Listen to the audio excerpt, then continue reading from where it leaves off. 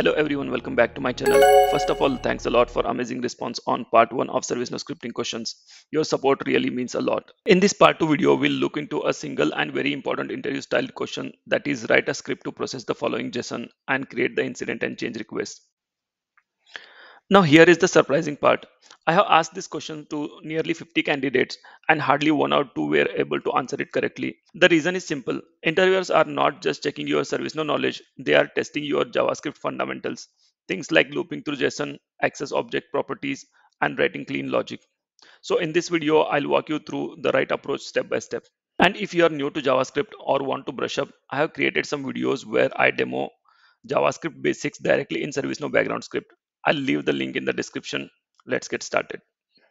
So here is the question where we need to process this JSON object and create the incidents and change requests. Okay. Now uh, this is the object. Inside the object we have uh, the arrays incident array where we can see there are two objects uh, both contain short description and description okay and in the change request also that's an array we need to create the change request using short description and description here and there are two conditions if the short description is empty then we don't need to create the incident or change request and if the description is empty then we need to add the short description in the description field okay so let's get started I have created the variable here to store the JSON. Now we want the table names incident and change request dynamically. We need to pick it from uh, the object.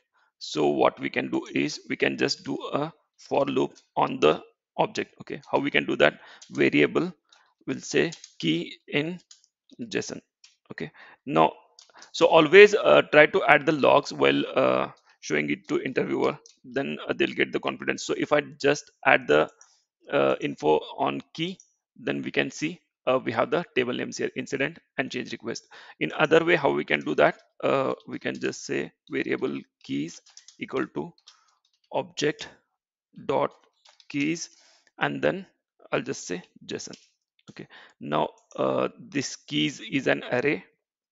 So if I do gs.info keys dot length, uh, okay, that's two. And if I do keys dot to string,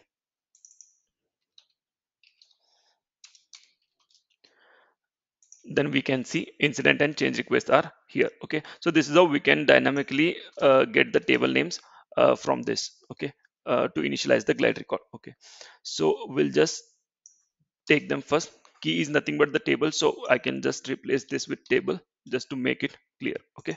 Now we have the table with us. Now what we want uh, is this array okay. To process incidents we want this array and in both the cases we have short description and description fields only. So what i'll do is variable i'll just say records is equal to json of table. Okay. So now in this records this is the array. So let's just print that. Gs.info records dot length. Okay. So if i print this then i should get two. Okay. Because in uh, each array we have uh, two objects here. Okay. The length is two. Okay. Now I want to loop over this again right? So I'll just create one more for loop. So I can create the for loop also or else I can go with for each also okay? So I'll just do for each. And then function. We'll just do it like this. And inside this we'll just define a variable. That's a record okay? Now I'll just do gs.info I'll just check whether uh, I'm getting the short description or not. Okay, so I'll just do short underscore description. So let's just print that. So now I'm able to see the short description. One is empty because in one of them we don't have the short description and we had the condition uh, to not create the record if the short description is empty. Okay, so now I'm able to successfully uh, get the short descriptions. Okay, so now let's add the conditions. Now if record dot short description. If record dot short description is present then only we need to proceed okay? So we don't need to add it like equal to equal to uh, is not equal to empty like this okay? Javascript will understand it uh, if we just add this this condition. Javascript will check for null value. Javascript will check for undefined javascript. Will check for uh, empty value okay? So if the value is present then only it will go inside otherwise it will not go okay? So now we know uh, that there is value short description. So now we will initialize uh, the we'll say gr task will initialize the glide record okay? New glide record and we have already fetched the table that is here. So we'll just add that table here okay? And then we'll just say gr task dot initialize. Okay now uh, so we'll say gr task dot short underscore description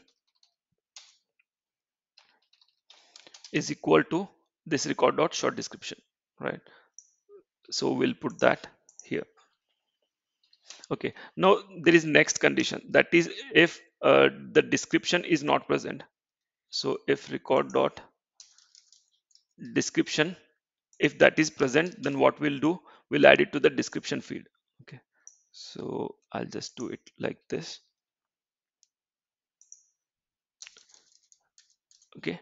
Gr task dot description is equal to record dot description. Okay if the if the description is not present then our condition says add the short description in the description. So what it means is i'll just take this. In the description we'll just put the short description whatever we have received. Okay. So i'll just add this here. Okay. Now our, both of our conditions are satisfied. So i'll just do gr task dot insert. Okay. So now let's run this now we can see uh, two incidents are created and one change request is created. Why one change request? Because uh, we have short description empty in one of the change request. Okay. So now uh, and we can see uh, in this case the description is empty where the short description should be in the description. So let's go to the incident table and check incidents. Just add created on today okay the description field is not in the list layout so let's add that. Okay so we can see uh, in this case as description is empty the short description itself is added in the description. Here we had a separate description that's why it is added. Okay so uh, these two are created like that. Okay now let's go and check the change request let's add the filter created on today.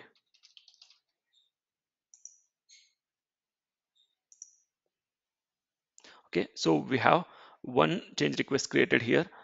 Let's add the description also here.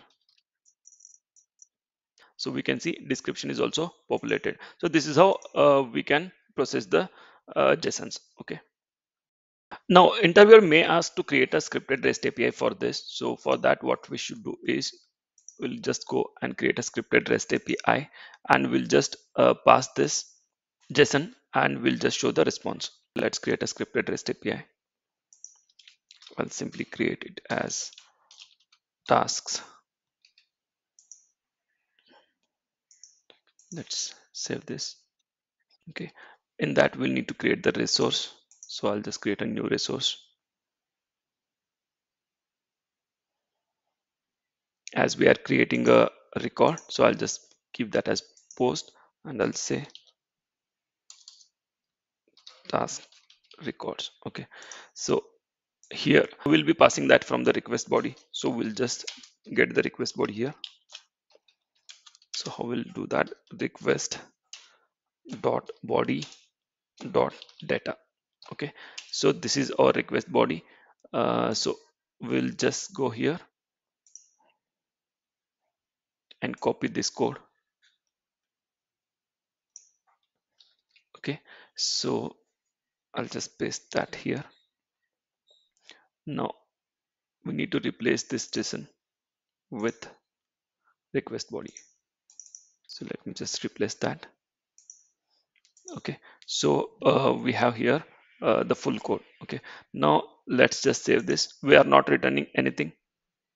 So I'll just say create task records. Okay, let's save this. Now we can test this from Postman or we have Explore REST API here. So I'll just click on Explore REST API. So if we are using for the first time, then we get the button called Explore. Then we'll just click on that. Uh, the API which we created is automatically populated here. Okay, now we need to add the request body, right? So I'll just add here that request body and I'll simply click on send.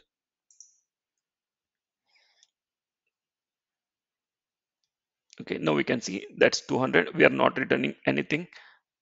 If i go to incidents i should have two more records here. Yeah we have two more records. If i go to change request i have one more change request here so this is how we can process the json and create the records. I hope you like this video. If you like this video then please hit the thumb icon and share the video with your friends and subscribe the channel for more videos like this. Thank you